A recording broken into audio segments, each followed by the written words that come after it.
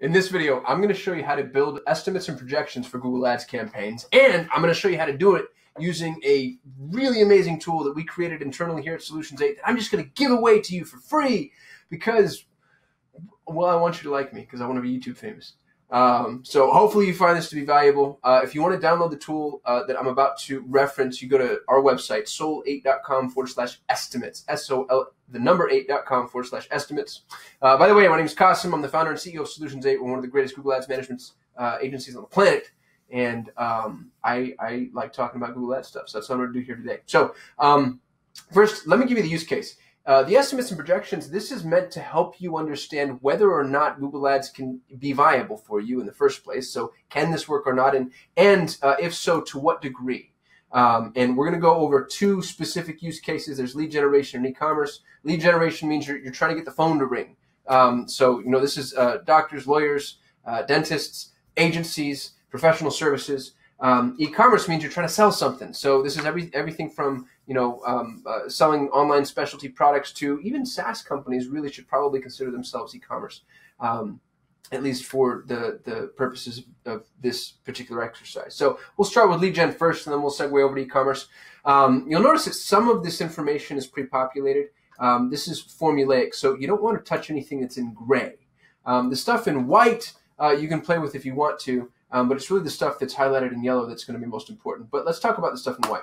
Um, first, monthly impressions. I'm getting this data from Google Keyword Planner. So if I wanted to go build um, uh, estimates and projections for a new client or for a campaign that I was running, I would go look at how much available traffic uh, exists. So let's just say there's half a million um, average monthly impressions. Uh, the very next thing we need to calculate is our expected click-through rate. Now, in, industry standard uh, is uh, half a percent to two percent. If you know what you're doing, you're going to be able to achieve two percent. I think with relative relative degree um, of, of efficacy. Uh, you might have a much higher click-through rate. You know, I mean, depending on your industry, uh, emergency plumbers, the, the easiest one to think of, they're probably going to have pretty pretty high click-through rates. Um, so if you have a historical data point to tell you that you're going to have a higher CTR, then you may. Um, I don't know if I'd rely on that. It also isn't going to really impact your data much because um, your CTR in this particular instance isn't going to uh, impact the amount of um, what your leads cost. It's just going to impact the amount of traffic that's available to you. So let's assume it's 2% for now. Average CPC, um, uh, again, this comes from Keyword Planner. Google Keyword Planner is going to give you the uh, uh low end and high end for a top of page bid. I like to average those two together. Uh, $5 per click is, you know, honestly kind of inexpensive for high commercial intent. Um, so let's assume that our average CPC is ten dollars, um, just to you know get a sense as to what a more competitive ecosystem might look like. Now, what's going to happen is it will tell me the uh, projected available traffic um, and the maximum ad budget based off of what's going on here. So I'm going to come in here and say, okay, you know what? What if I wanted to spend?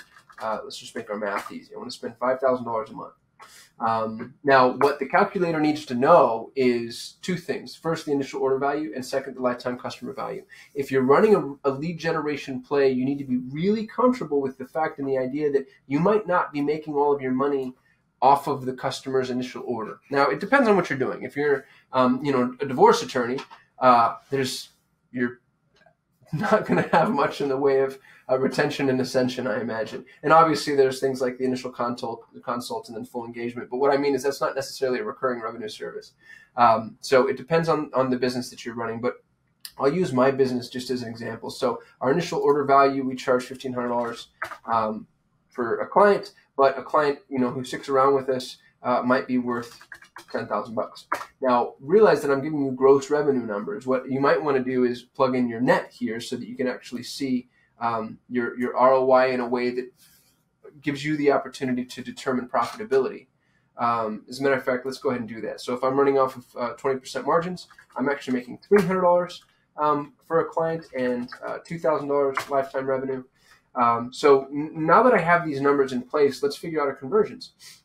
Uh, projection conversions here means how many people who click through to the ads are actually going to be a lead. Now, if you have a really high conversion rate, uh, an exceptionally high conversion rate is like 20%. We have campaigns that are higher. I have some campaigns that function at 30% conversions. Um, our real estate investment campaign for a while, you know, on certain facets had 40% conversions because uh, it was so tight, but um, 10% is high. So I'm going to assume I, have got a really high converting website. So 20% actually isn't that bad, but let's do 10% just for the sake of the argument here. And then your projected close rate. So once you get a lead, uh, how many of them are actually going to close? Uh, and this is going to really depend on things like, you know, how tight are your keywords?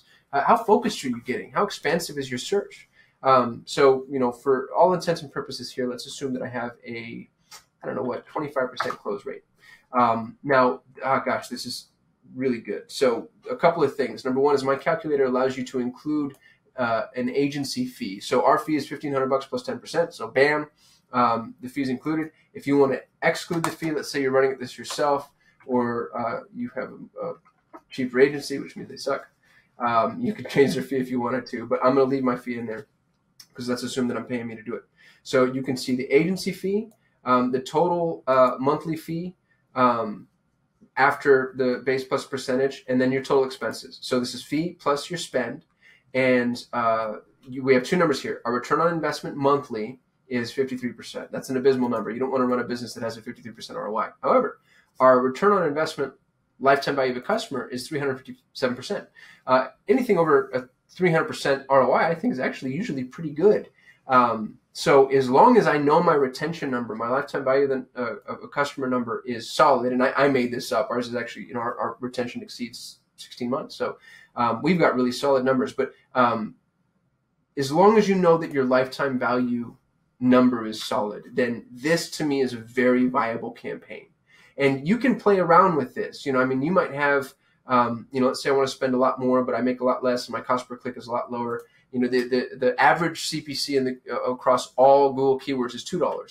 So if you have a two dollar CPC um, and all other numbers remain the same, then you'll see that the ROI here is really significant.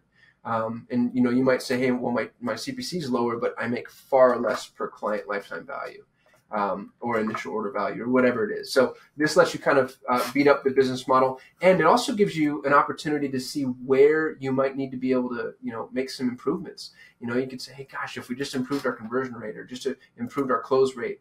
Um, then we're going to see some improvements in terms of the campaign efficacy. So hopefully you can kind of see how this is really helpful on the front end. Obviously, none of these numbers are written in stone.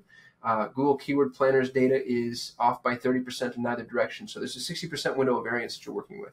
Um, that said, it, it, it, I believe is getting better. And if you're averaging um, numbers out on keywords that you find to be very relevant, then I think you're dealing with pretty solid data. And you, you know, at least have a predictive indicator of whether or not your campaign is going to work for you. So that's the lead generation tab. Let's jump over to the e-commerce tab, shall we?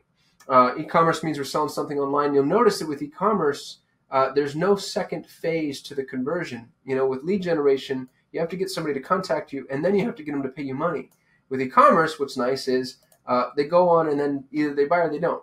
And I guess that's you know that's good or bad depending on how you look at it. But um, same story here. Let's do monthly impressions. Let's say that I'm selling cell phone cases because that's what everybody wants to do nowadays for whatever reason. You wouldn't believe how many leads I get from people that have affiliate stores selling cell phone cases. It's absurd. But there's you know easily a million um, uh, in the way of traffic there. Uh, click through rate is probably going to be low because it's a, a, product that you know is saturated. Uh, average cost per click, I have no clue. Let's say it's three dollars and fifty cents. Um, could be low, could be high. You know, those saturated markets, it's always hard to tell. So uh, let's say on my cell phone case campaign, I want to spend ten thousand bucks because I'm a big baller. Uh, my average initial order, you know, everybody usually purchases one cell phone case from me for thirty dollars. I've got fifty percent margin, so I make fifteen dollars on that. Um, but I have noticed that because I've got you know Klaviyo installed in Shopify, I'm able to bring them back around, and I upsell them on a screen protector. Um, you know, 50% of people buy a screen protector, and then uh, uh, another 50% of people will come back and buy another accessory from me. So let's just say that my lifetime value of a customer is $45. Um, and then my closing ratio is amazing because I've got a really amazing type of cell phone case that nobody else has, and it does stuff that nobody else does. So we'll say I've got a 15% closing ratio. Um, now let's take a look at our numbers here. We have got uh, the monthly fee for the agency. So here's your total monthly fee, total expenses, total expenses, and uh, your return on ad spend. Now remember, these numbers are based off of my net profit. Okay, so a lot of people will say things like, "Oh, I need a 300% ROAS." Well, you need a 300% ROAS off of your gross revenue number. What I just did here is I said if I make $15 net after all expenses, um, then this actually this number works. Now it's not sexy. There's nothing about this that excites me, but this is a functional number. Anything over 100% means you're making your money back and then some, uh, based off of your net profit again.